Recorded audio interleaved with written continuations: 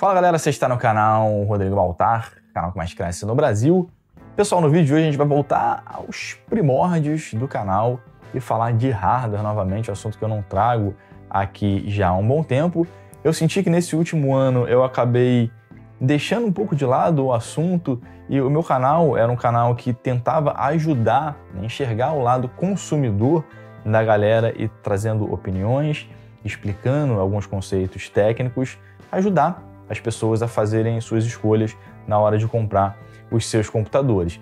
Então, esse ano eu vou focar um pouco mais nesse tipo de conteúdo, porque muita gente chegou aqui no canal por conta disso. Então, os, os conteúdos de jogos, é, tudo voltado a jogos e computadores, né, seja de console ou PC, vocês vão encontrar aqui no canal.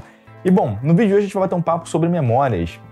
Eu recebi esse kitzinho aqui de 32 GB, Team Group DarkZ 3600 MHz, CL18, uma memória excelente que custa caro aqui no Brasil, e eu pensei, pô, que tipo de conteúdo que eu posso fazer com esses carinhas aqui para mostrar para a galera do canal. Então decidi fazer vários testes com outras memórias que eu tenho recebido aqui no canal ao longo dos anos, e eu cheguei a uma conclusão bem interessante que eu acho que vocês vão gostar, né? E vai ser muito útil na hora de você escolher a sua memória para o seu computador. A gente vai bater um papo geral sobre memórias, então vai ter muita coisa interessante no vídeo de hoje. Se inscreve no canal se você não é inscrito, dá uma olhada nos nossos patrocinadores nos links da descrição se você quiser comprar memória para o seu computador Terabyte Shop, GVGMAL para você fugir da craqueagem, o App One Football para você ficar por dentro do mundo da bola. Agora transmitindo o campeonato alemão e francês via aplicativo. Me segue lá no Twitch, que é onde rolam as lives do canal. E vamos lá pro vídeo. O craque é igual o João 1010, só vem para roubar, matar e destruir. Fuja da craqueagem e compre já sua licença Windows original no site da GVG Mall. Links na descrição. Então vamos lá, pessoal. Já faz um tempo que a gente não bate um papo sobre hardware aqui no canal, então eu acredito que a filosofia Baltar de não gastar dinheiro com hardware inútil esteja ficando um pouco turva na cabeça da galera. Esse ano eu vou tentar frisar um pouco mais para que a galera não jogue dinheiro fora ou perca muito tempo com coisas que não vão te agregar absolutamente nada. No vídeo de hoje a gente vai bater um papo sobre memórias, porque eu recebi já um tempo atrás esse kitzinho aqui da Team Group, memórias de 32 GB, né, 4 pentes de 8 GB, 3600 MHz, o que é interessante, com CL18. 3600 MHz nos processadores Ryzen terceira geração, que eu uso aqui é o 3900X, onde foi feito os testes com uma placa-mãe X570, a Aorus Elite da Gigabyte, 3600 MHz, num processador atual, terceira geração do Ryzen, não deveria apresentar nenhum problema. Mas eu tive problemas sim, e por isso que vocês estão vendo esses kits aqui na minha mão, sendo que eu utilizo outros exatamente iguais, ali 32 GB no meu computador aqui atrás que está ligado, inclusive fazendo a gravação. Eu tive problemas com esses 32 GB aqui e a Team Group me mandou mais 32 GB. Aí você me pergunta, Baltar, essas memórias aqui estão ruins? Não. Eu vou explicar para vocês no decorrer do vídeo. Eu fiz alguns testes com essas memórias DarkZ, comparando com memórias que eu utilizei aqui no canal em outras épocas como por exemplo a GEO Super Lucy, que eu utilizei naquele vídeo do Mac Pro para vencer a branquitude, 3000 MHz no kit de 16 GB, é, CL16, a Super Lucy branquinha que a Terabyte mandou recentemente aqui para o canal, memórias com RGB, igualzinha a pretinha, 3000 MHz, kit de 16 GB CL16, a Ballistics, né, 32 GB que eu utilizei no kit, né, com 4 pentes de 8 GB, 3.200 MHz, isso é muito importante. E aqui a branquinha, que eu utilizei no PC Baltarzinho, 2666 CL16, com 16 GB também. E a memória Oloy, que a Terabyte mandou, uma marca que eu não conhecia, 3.000 MHz, chip Micron, e funcionou perfeitamente ali o kit de 16 GB.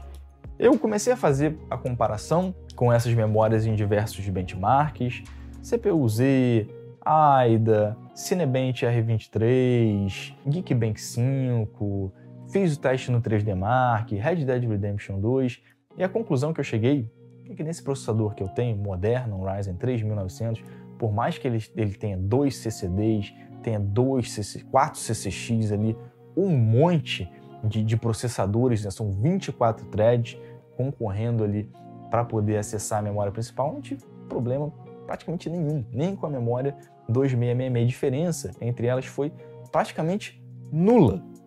Praticamente nula. O que me fez desistir de montar um monte de gráficozinho, um monte de coisa. Eu vou deixar para vocês o Excel aí, é, anexado na descrição, para vocês baixarem ele, darem uma olhada nos testes e ver que foi basicamente o mesmo resultado. O que me faz chegar a uma conclusão que eu já tinha há muito tempo, que você tem que ter um computador estável que te ofereça a performance, no mínimo, o que o fabricante projetou para aquele processador, para aquele, aqueles componentes, para que você não venha ter problema nem de desempenho e nem de estabilidade, crash e por aí vai. Coisas que acontecem é, muito, por exemplo, com usuários de PC. E para você não cair nessa, né, para você não ter problemas com isso, o que, que eu recomendo que você faça? Ah, eu tenho um Ryzen de segunda geração. Qual a especificação da AMD para o controlador de memória do Ryzen segunda geração? 2933. Pô, então eu vou comprar memória 2933, 3000 MHz, 3200, vai funcionar perfeitamente, mas eu não usaria nada abaixo de 2933, porque a AMD especificou 2933 para esse processador e também evitaria utilizar algo muito acima, porque todas as vezes que eu tentei fazer isso, seja no Ryzen de primeira geração, que eu comprei memórias 3200, tive problemas, tive problemas no Ryzen de segunda geração e agora no Ryzen de terceira geração também, que o especificado da AMD foi 3200 MHz, mas ele suporta lá 3733 até 4000, tem memórias de 4000 MHz testadas nessa placa que eu tenho da Gigabyte. Quando eu coloquei a memória 3600, ela deu problema. Então, comprei um Ryzen ali terceira geração. Qual é a memória? 3200. A diferença é muito pequena, você não precisa pagar muito mais, como por exemplo um kit desse daqui da ArcZ, que é muito mais caro do que uma Super Lucy, do que uma HyperX, do que uma Crucial 3200 e o ganho é nulo. O ganho é praticamente nulo, mesmo num processador né, com uma cacetada de threads, de processadores é, físicos e lógicos disponíveis. Além disso, os processadores da AMD eles têm ali o Infinity Fabric atrelado à velocidade da memória. Infinity Fabric é um sistema de controle e transmissão de dados que onde o processador se conecta, né, conversa com os outros componentes internos dele. Então, você aumentando a velocidade da memória, por exemplo, colocando a, a memória 3600 no processador Ryzen, ele vai aumentar o Infinity Fabric também para 1800, né? Vezes 2 vai dar 3600 e isso também pode causar mais instabilidade. No Ryzen terceira geração, a AMD colocou ali um divisor, né? Você pode diminuir a velocidade do Infinity Fabric também e aumentar a velocidade da memória, mas eu também não recomendo que você faça esse tipo de coisa porque você vai pagar muito mais caro em kits, por exemplo, 3.800, 4.000 MHz, para você ficar quebrando a cabeça ali, porque provavelmente, né, de acordo com a minha experiência aqui, que não é, é uma experiência de usuário, eu não sou reviewer, nem benchmarker, nem nada disso, eu sou um cara que tem acesso aqui a algumas coisas, testo e vejo que na maioria das vezes que eu fiz isso, deu problema. E eu fiquei quebrando a cabeça ali para poder resolver, ou muitas vezes você compra uma memória muito rápida, 3.800, 4.000 MHz, e você tem que cair para 3.600, ou você vai ter que diminuir a velocidade do Infinity Fabric. Ou seja, um monte de coisa que você não precisaria se preocupar, porque o ganho é muito pequeno.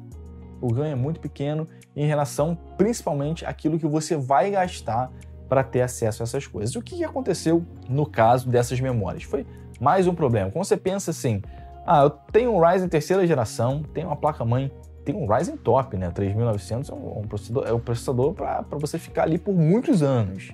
Você tem uma placa-mãe é, top de linha também, né? Pelo menos o chipset é o top de linha, o X570 é uma placa-mãe excelente também. Mas aí quando eu coloquei as memórias 3600, eu falei, pô, não vou ter problema nenhum, né? Tive, tive, e problemas bizarros ainda. Por exemplo, esse kit aqui, que é o que eu não estou utilizando agora, né? eles não funcionam juntos.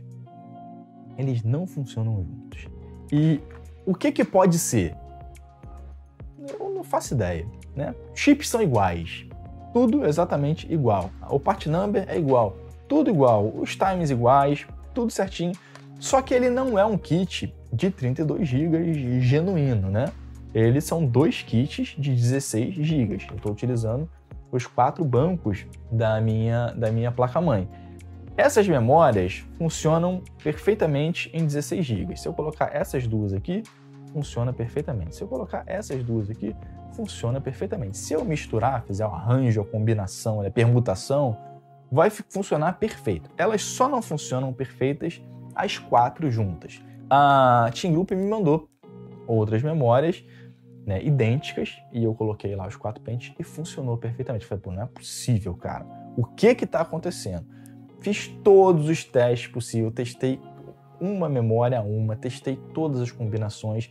Não adianta. Os quatro pentes juntos não funcionam e eles separadinhos ou eles ali em, em, é, em dupla, né, em 16 GB, todos funcionam perfeitamente. Ou seja, problemas bizarros de incompatibilidade que acontecem com o cara que quer ter o melhor do melhor, né, quando o hardware não foi preparado para isso. Né? O processador não foi preparado para receber memórias com mais de 3.200. Ele até, até funciona, né? mas segundo ali o fabricante, as especificações do fabricante, ele vai estar tá sendo, é, ele vai estar tá funcionando em overclock e isso ah, beleza, você pode fazer, você pode ficar ali, comprar uma super memória. Ah, não funcionou a 4000, minha memória 4000, mas funcionou a 3866 perfeitamente, estável, beleza, show de bola. Mas o que eu recomendo é que para você não ter problema, compra o específico. 3.200, é isso aqui? Tá no melhor preço ali em relação custo-benefício? Eu vou usar 3.200 né? Hoje em dia você encontra muito facilmente. Uma coisa que você não pode fazer de maneira nenhuma, em nenhum processador é, moderno, é comprar apenas um pente de memória. Você vai estar, tá, teoricamente, capando pela metade a capacidade do controlador de memória do seu processador, que hoje em dia todos os processadores modernos são 128 bits. Você tem essas memórias DDR, SDRAM, que são memórias 64 bits, então você tem dois canais ali na, nesses processadores mainstream. Então as memórias vão ser acessadas a 128 bits. Se você usa só um pente, você teoricamente está capando 50% da capacidade do seu controlador e na prática aí é mais ou menos ali entre 25%, 20%, 30%, dependendo da aplicação. Então às vezes o cara comprou um pente de memória, aí depois ele fala assim, ah, vou comprar mais um depois. Aí o cara não acha memória é igual, quando acha, às vezes tem a mesma carcaça, mas não é, não é o mesmo chip, não é o mesmo part number, e o cara coloca ali, liga os dois, embanana tudo, né? Os times terciários, times secundários ali, pode ficar embananado, o computador não sobe, você tem problemas com isso. Por exemplo, eu, com essas memórias 3600 que eu estou utilizando agora, ou seja, que era para estar tá funcionando perfeito, muitas vezes eu vou dar um boot frio ali no computador, não, o computador passou a noite inteira desligado, chega de manhã ali, eu vou ligar para trabalhar, às vezes ele não sobe, né? E o computador faz aquele self-test, né? Testa ali com os times terciário é, numa, numa velocidade, aí não sobe, ele testa de novo, faz os cinco testes ali, e às vezes não sobe nos cinco testes, e a memória volta lá para 2400 MHz, e eu tenho que configurar tudo de novo, todas as configurações de memória, porque o que vem no XMP né, a placa-mãe não consegue ler perfeitamente, não funciona. Mesmo com essas memórias que passam em todos os testes que eu tenho aqui, perfeitamente, porque a outra, se eu coloco as quatro juntas, dá erro em alguns benchmarks, em alguns testes de estabilidade, e essas aqui não, elas eram para funcionar perfeitamente, e ainda assim não funciona. Uma coisa que você tem que ver é a quantidade de memória que você precisa, né? 32 GB é muita coisa para praticamente todo mundo. Né? 64 GB é, é bizonhice, né? Se você não é um cientista que trabalha com algum tipo de, de modelagem, alguma coisa é, mais específica, você não precisa de 64 GB, 32 GB só se você faz edição, usa muitas máquinas virtuais ali, arquivos é, gigantescos, talvez, né? Mas a maioria das pessoas 16 GB serve. Outra coisa que eu recomendo que você faça também, caso você queira comprar memórias acima daquilo que foi especificado pelo fabricante, como por exemplo memórias 3200 no caso dos Ryzen de terceira geração, é você dar uma olhada no site da placa-mãe, no QVL, né, Quality Ventor List, que você vai ter ali todas as memórias que foram testadas né, e certificadas, funcionam perfeitamente nessa placa. Então você vai ter o part number das memórias lá, o modelo certinho. Você entra lá no site, por exemplo, da Terabyte, copia. Tem a memória aqui. Eu procurei algumas no site da Terabyte, procurei a GE, eu procurei a Ballistic, procurei a HyperX. E a única que eu achei que estava no site da minha placa-mãe era a memória da data. Então entrei lá, procurei, peguei o part number, joguei lá no, no site da Gigabyte, no PDF, ele encontrou, ó, memória 3200 funciona perfeitamente lá. Então com aquelas memórias ali, muito provavelmente você não vai ter nenhum problema. Então se você for comprar, ó, quero comprar uma memória 3800 MHz. Então você vai ter que ir lá no QVL da sua placa-mãe, lá no site do fabricante e vai ver certinho a memória que foi testada para que você não tenha problema, porque aí você ter certeza que você vai estar comprando aquela memória ali, naquela velocidade, tem uma memória lá de 4.400 MHz testada nessa placa-mãe minha e eu acredito que funcione. Eu acredito que funcione. Outra coisa que é interessante a gente falar é em relação ao overclock. Muitos canais aí a galera gosta de pegar as memórias e overclockar e tal. Eu já fiz muito isso. Muito, muito, muito, muito, muito. Só que hoje em dia é algo que eu abro mão. Né? Os processadores hoje em dia, eles são muito fortes. Né? As memórias estão muito rápidas.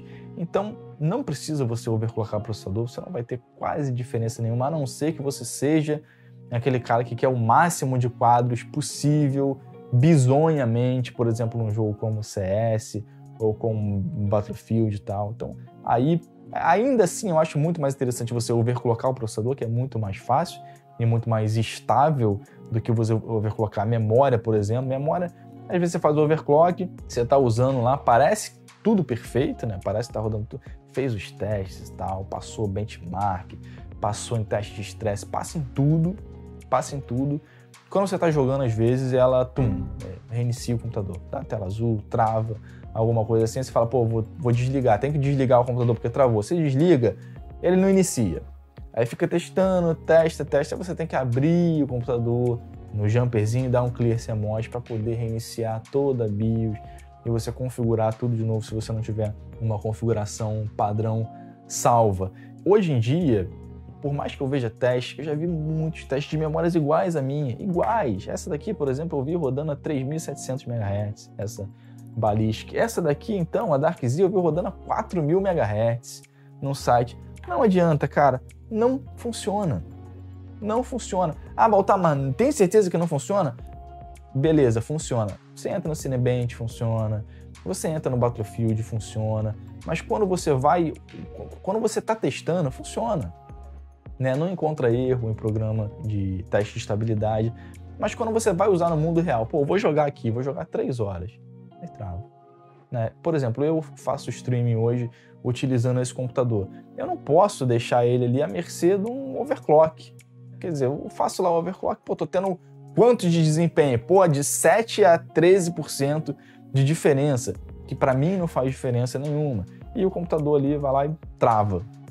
Do nada, trava. Eu vou ter que reiniciar a live, voltar. Às vezes o cara perde o save. Na minha opinião, como os processadores e as memórias evoluíram tanto hoje em dia, não é necessário você fazer um overclock, não é necessário você comprar memórias super rápidas nessa diferença de, de dinheiro que você vai gastar. Você compra uma placa uh, de vídeo melhor, que pode fazer, que pode trazer mais quadros, muito mais benefícios do que a memória, por exemplo, e você utiliza ali a memória especificada pelo fabricante. Se você for um cara mais entusiasta, ah, comprei uma memória 3200, ah, eu quero ver até quando ela sobe. Aí você vai testando, vai testando, vai testando. Você com certeza você vai conseguir achar ali depois de muito teste, depois de muito teste, o sweet spot da tua memória. Aqui ela tá, sei lá, em 3333, 3466, ela tá perfeita ali, totalmente estável. Aí quando você for ver lá a diferença de desempenho é praticamente nulo. Na minha opinião, não vale a pena você ficar quebrando a cabeça com essas coisas. Memórias chinesas, Baltar. Memórias, o que, que você acha dessas memórias chinesas? Bom, a gente vê muita memória Corsair, memória HyperX sendo vendidas na China. A gente não sabe de fato se são memórias originais ou não. O fato é que existem praticamente três fabricantes de memória somente, né? Samsung, a Hynix e a Micron. Esses fabricantes, né, por mais piratas que eles sejam, né, ou fabricantes estranhíssimos, como é, desconhecidos, como a Alloy, eles compram esses chips de memória e eles montam em algum lugar, numa fábrica deles. A única coisa que pode ser diferente ali é o controle de qualidade dessas, dessas empresas. Ah, pode ser que a, a, a Oloy não tenha um controle de qualidade tão bom quanto o controle da, por exemplo, da HyperX original. Ou uma, existem HyperX falsas lá. Não dá para saber. Não dá para saber. Hoje em dia, o preço das memórias aqui no Brasil não tá tão alto assim. Você encontra memória 3.200 MHz lá na Terabyte, por exemplo, a da Data, que tá lá certificado direitinho, GEO, super memórias certificadas para Ryzen, tal por, 3, por 320 reais, 330 reais, kits ali por 600 reais, 620 reais. Então é uma opção é, mais segura. Eu não sou um cara contra as paradas da China. A única coisa que eu tenho contra, mais contra as paradas chinesas lá, são aquelas placas mães bizarras de, de Zinho Dragão chinês. Fora isso, eu acho que tudo é usável. Né? Se você chega lá e compra uma memória 3200, bota lá sua, na sua, na sua placa-mãe funciona beleza, né? 100% estável. Ah, mas o mais é falso, é marca Visio, é marca lixo. Tá funcionando, tá entregando ali o, o desempenho que você vê na internet, próximo ali daquilo que você está tendo com a sua máquina, beleza. Se der problema depois, aí você vê. Em relação à latência dessas memórias, a Baltar tem uma que é 3600 CL18, a outra é 3200 CL14 e tal.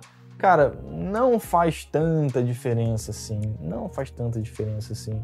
Você pode também pegar ali a memória CL16, CL18, você pega ali e bota CL16, que na maioria das vezes funciona também.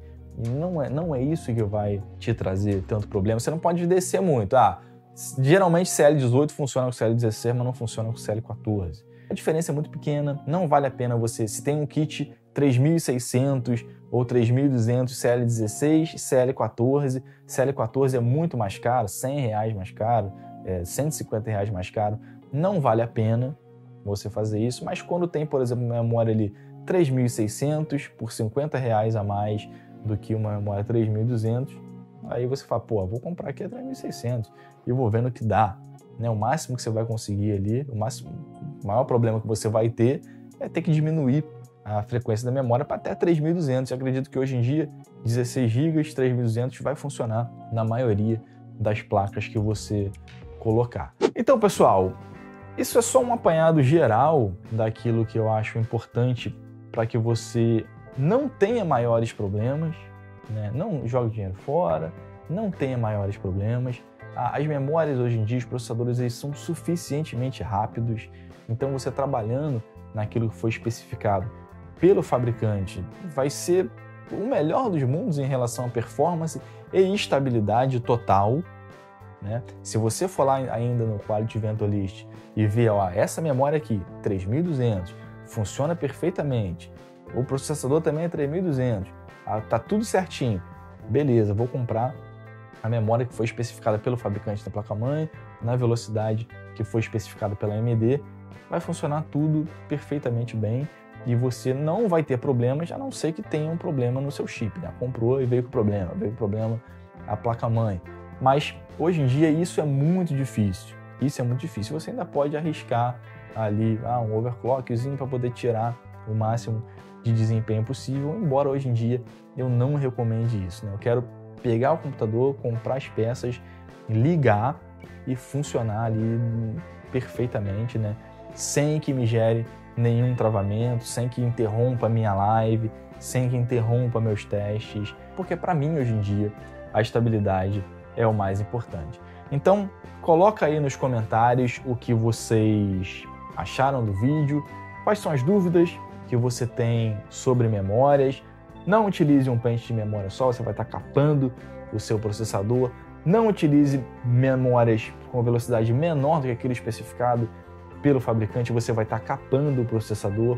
Você pode utilizar memórias com frequências maiores do que aquele especificado pelo fabricante, mas você pode ter problemas com isso, de estabilidade, e principalmente dor de cabeça para você ficar procurando ali quais melhores time, melhor velocidade. Então coloca aí nos comentários o que você achou do vídeo, se você for comprar uma memória para o seu supercomputador, Terabyte Shop, dá uma olhada nos outros patrocinadores nos links na descrição, me segue lá na Twitch, arroba LoucoBaltar, as lives lá estão bem maneiras. E se você quiser ajudar o canal de alguma forma, vire Prime lá na Twitch que você vai estar ajudando bastante o seu Battle aqui. Tamo junto, é nóis, um grande abraço e até a próxima.